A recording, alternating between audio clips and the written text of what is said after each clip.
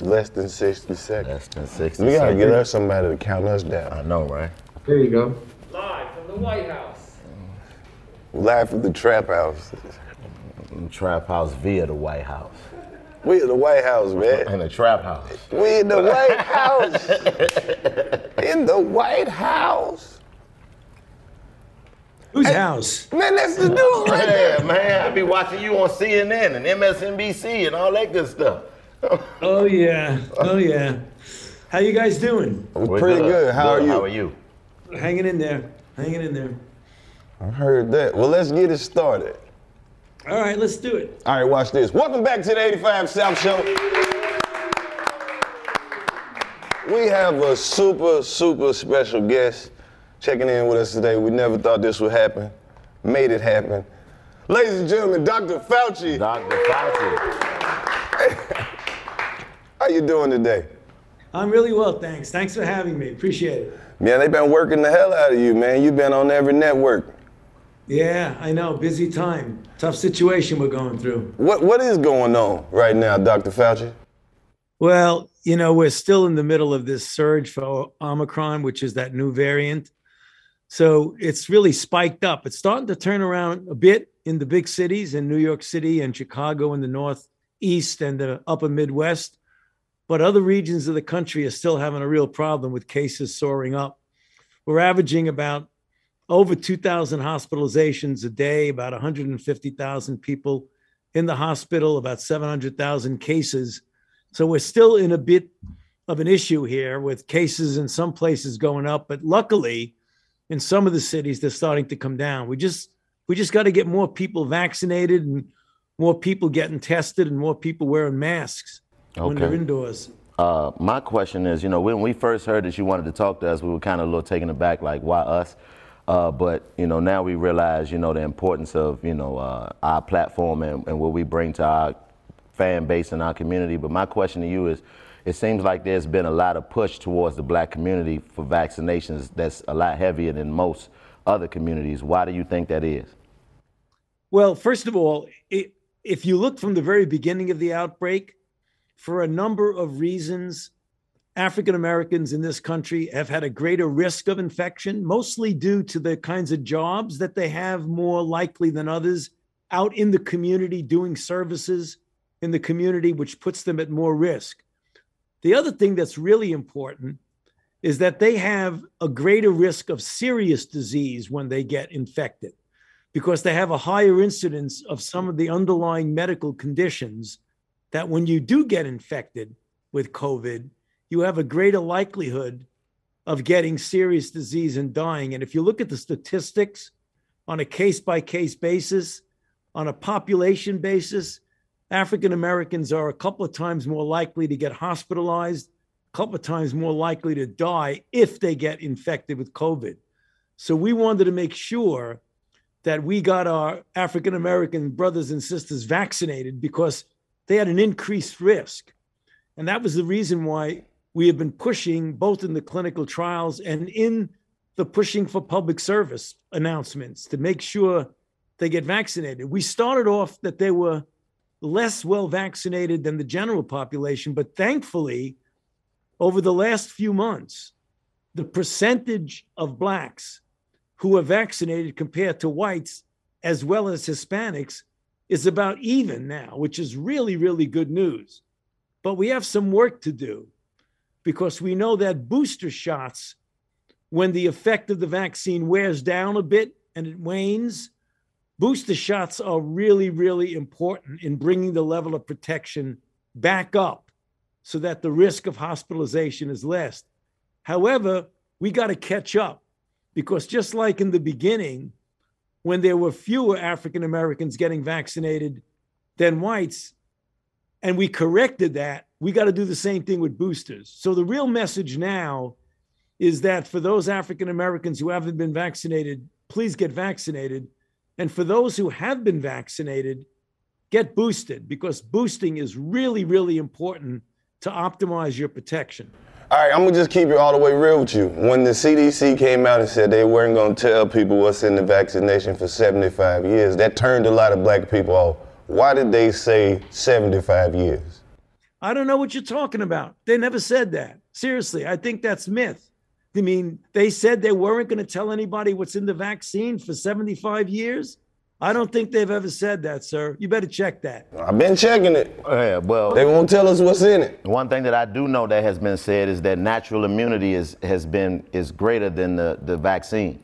So if natural immunity and you getting COVID builds up a greater uh, immunity and, and a better, you know, uh, resistance to the disease and, and the sickness, why has there been such a heavy push towards getting vaccinations if natural immunity is Okay. is, is so important? Re- reas- reasonable question. If you're infected and you recover and nothing bad happens to you, natural immunity does protect you for a period of time. It isn't indefinite, but it protects you.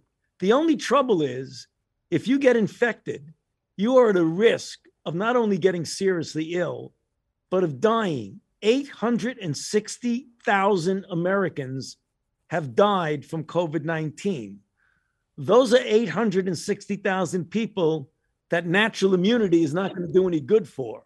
So, do you want to take a chance of getting infected, perhaps getting very ill, perhaps dying, perhaps spreading it inadvertently to a loved one, someone in your family, someone who has a condition that makes them more likely to get seriously ill? I don't think you'd want to do that. So, yes, natural immunity, if you're lucky enough to get infected and to recover could in fact protect you for a while. But it's much better to get vaccinated, not get sick, and get as much or more protection than you would get from natural immunity. What is this and where did it come from? Like we we're at a we we grown, 30 plus. We never heard of this. Like now we the world is shut down because of this. Where did this come from? Well, we had an outbreak of what we call SARS CoV 1 in 2002 and 2003. And it was proven that it was a virus that was originally in the animal reservoir in a bat. And there's a lot of viruses like this that are in bats. They jump species, they infect an intermediate animal, and then intermediate animals that come in contact with humans start it. That's exactly what happened in 2002 in China, in China, in the Guangdong province of China, we had individuals who were actually infected from an animal species and then spread it around. Luckily, we were able to control that by public health measures. The same thing happened with a less dramatic outbreak in the Far East, in the Mid East, excuse me. And that was a, a virus that jumped from a bat to a camel and infected a lot of people in Saudi Arabia. We don't know exactly where this came from, but it is very likely the same thing happened. It jumped species from an animal like a bat to a human. And in the wet markets where people come to shop for food, usually in China and in other Asian countries, they come in contact with these animals, they get infected, and the next thing you know, you have an outbreak. Well, question is is is uh, you know, funny as this question may sound, how come the focus hasn't been getting bats vaccinated? Because it seems like it's a lot of bats and animals and all of these type of things. So you hear that and you think, well, wouldn't it be more uh, prudent to just Yeah. worry The- about the- getting the bat population under control and before it gets to human? Well, that's not an unreasonable question, except logistically, it's impossible. There are trillions of bats in the world. How are you going to be able to capture them and vaccinate each of them? I mean that, that that's very true, impossible. but it's kind of like you know you're not going to have any resistance from bats like you're going to have from humans because there's been a lot of a lot of misinformation and a lot of disinformation that's been spread amongst you know like for example one of the questions that I get a lot from people is that you know there's a certain sterilization period after vaccination and uh, you know there's been talks of women having problems with their menstrual cycles and various things like that. So is there any truth to the fact No. that if you get the vaccine you won't be able to have children? No, that is absolutely incorrect. And one of the real problems we're facing is the misinformation and disinformation that's spread usually on social media. Well, You give know, us the real would- that would be- information. What's going on? Is it working? Is the vaccine working? It absolutely is working. If you look at the data, the facts, not the rumors, not the conjectures, not the disinformation on social media and you look at the people who are hospitalized and die, it's overwhelmingly those people who are unvaccinated. When you compare the unvaccinated to the vaccinated and look at the charts, the vaccinated people are like this, the unvaccinated people way up. A major, major difference. It's 40 something times more likely that you would die from COVID if you were unvaccinated versus vaccinated. Well, Those I are the data, those are the facts. I lost my mother to COVID last year on May 4th. She passed away from it. Uh, she had an underlying condition. But I'm um, sorry to hear that. Uh, thank you. But my question is, you know, with the masks and everything, I remember when it first started, you yourself said, well, masks is not necessary, they don't work. And then it switched to you need to wear a mask. And now it's like you, it, it went from 14 days to five days, and you can go out if you're vaccinated with a mask. So my question is really, what's, what's next? Like, if we're not able to get everybody vaccinated, if everybody doesn't follow protocol, and, you know, it's not in comp- you know, in contrast to what you guys think is necessary, what do we do? Do we just have to look forward to wearing masks and, and being able to, you know, social distance for the rest of our days, or is there some type of end goal? No, absolutely not. That's not the case. We are going to get out of this. We will get out of it sooner rather than later if more and more people get vaccinated and boosted. There will reach a period when enough people will be vaccinated and boosted or infected and recover and hopefully get boosted that the level of protection in the general community will be high enough that although the virus won't be eradicated, we've only eradicated one virus in all of history. Smallpox. Smallpox. Yeah. Yeah, smallpox. We'll be right. reading over But here. we've eliminated some Didn't you say viruses. We've eliminated polio from this country. We've eliminated measles for the most part.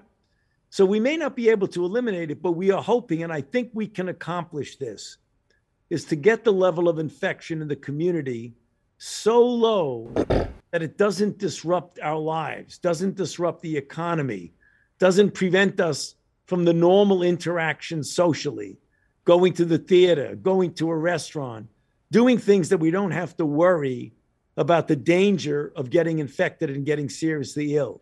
We will reach that point, I promise you. And Dr. hopefully Fauci. it'll be sooner rather than later. Did have you had COVID and have you been vaccinated? I have not had COVID. I've been vaccinated and I've been boosted. Okay. Well, the question is to you, there realistically, you know, and this is just coming from, you know, us who has a, a very big following in our community. They are just people who are not going to trust the government and trust what it is that they say is necessary for us to do, being as though the history in our community being so negative in regards to trusting the things that the government has told us. So, what do you do with those people? Yeah. Do you do you Well- dismiss those people? Do you get rid of? Like, what is the plan No. for the people who just No, no. refuse? Well, first of all, let me tell you that I certainly respect the community that through the tradition that has been down from grandparent to parent to children about a concern for a time in our history, which is long gone, but nonetheless is a fact of our history, of the mistreatment of communities such as the African American communities by the health enterprise. That's happened. That's something we have to admit. It's not something that we hope ever happens again.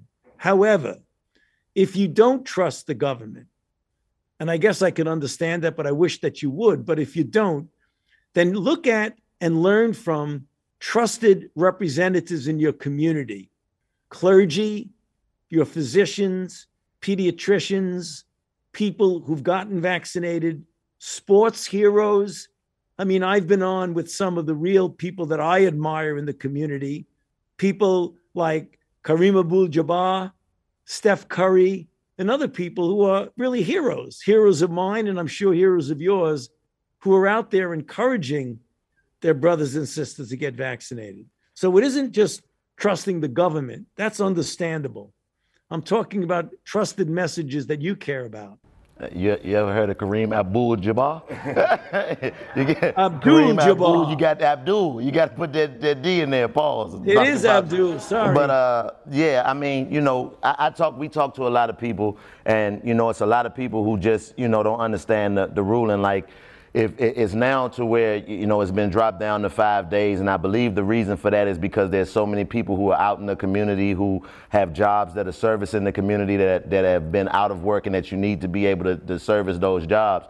So for the people who decide not to get vaccinated, is it do are they supposed to be under a different type of circumstance? Like like they can lose their jobs they can you know lose their health care lose all of these different things. Do you think that that's fair because they make a decision within themselves to not do something that the the, the majority ch- chooses to do?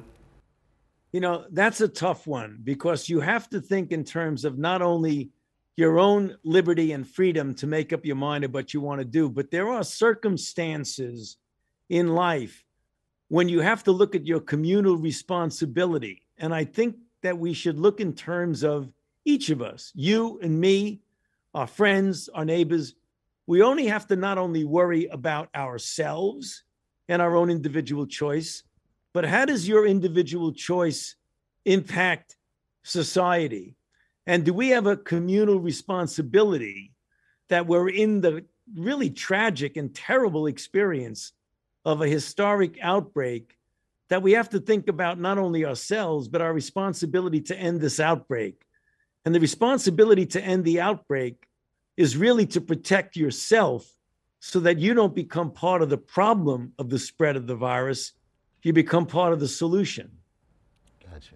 Dr. Fauci, is there anything laid out for like the healthcare workers who are risking their lives right now, going to work every day, working double shifts, 20 hour shifts? being exposed to this virus, they're like really putting their life on the line for this, and they really just getting paid hourly. And you know, are there any like stimulus incentives or bonuses or anything like right. that that could be in place for the healthcare workers? Well, I hope that there are, because I know I agree with you, because these are all the people that I've worked with all the time, my entire professional life, because I'm a physician too, and I've been on the front line.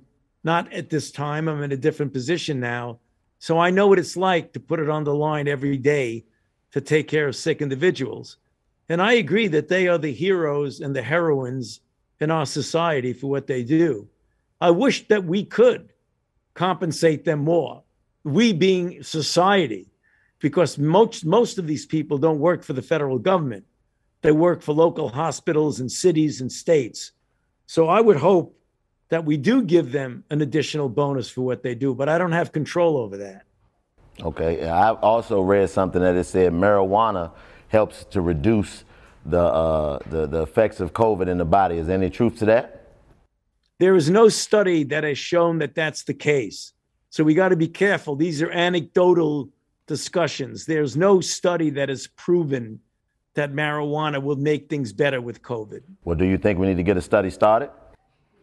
You know, you know, the, I wouldn't be surprised if there already is a study looking at that. As a matter of fact, because there is a thing called long COVID, which when you recover from the acute stage of infection, a substantial proportion of people, you know, it can be anywhere from 10 to 30 or 40 percent, have the persistence over weeks and sometimes months of rather debilitating symptomatology fatigue, uh, really profound fatigue that interferes with your ability to function, muscle aches, sleep disturbances, psychological issues, inability to concentrate. A lot of different studies are being done to see what is the underlying mechanism of that and is there anything we can do to treat it. So I'm sure there are going to be a lot of clinical trials trying a lot of things. I don't know if marijuana is going to be one of them. I don't know that but I wouldn't be surprised if it were. My last question for you, Dr. Fauci. I know we got to wrap it up, but prior to all of this stuff happening, healthcare was a big topic of discussion. A lot of people still didn't have adequate health care. And now they, you know, a lot of people are getting COVID without adequate health care. Like, is anybody studying the long term effects of COVID? Like, I know a lot of people are discovering, you know, health things after having COVID that are long term, like, and they're not going to be able to get access to, you know, to healthcare? Well, that's a really great question, and that we've invested 1.12 billion dollars in studying just that. What are the long term effects, the post acute COVID syndrome effects? And we're looking at cohorts of tens of thousands of people trying to figure out what the long term effects are and what we can do about it. So that's a great question because that's what we are addressing. Uh, my last question to you, Dr. Fauci, is uh, uh, unfortunately, a lot of the general public don't have the opportunity to sit and talk to you directly. So my question is for those people who may have doubt or may feel, you know, inadequate about the process that we're going through now, what are some of the local programs and local people that are set up that they can talk to and hold responsible for the way that they feel about this this brand new thing that we're all figuring out as we go? Like where can people go to get answers that you know might not be able to talk to you? but, Facts. you That know, they can get facts. they can get facts Okay. from regarding this this pandemic and this this disease.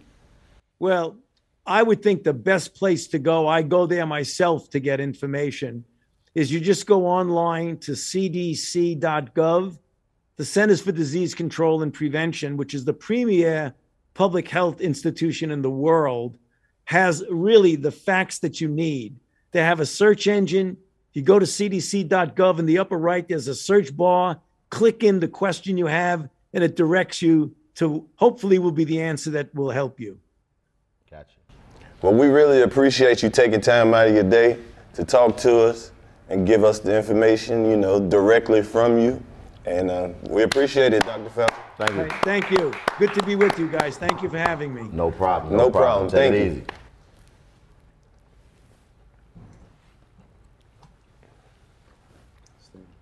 Well, y'all know when to get up now. What you think? I think it was good. Great job, everyone.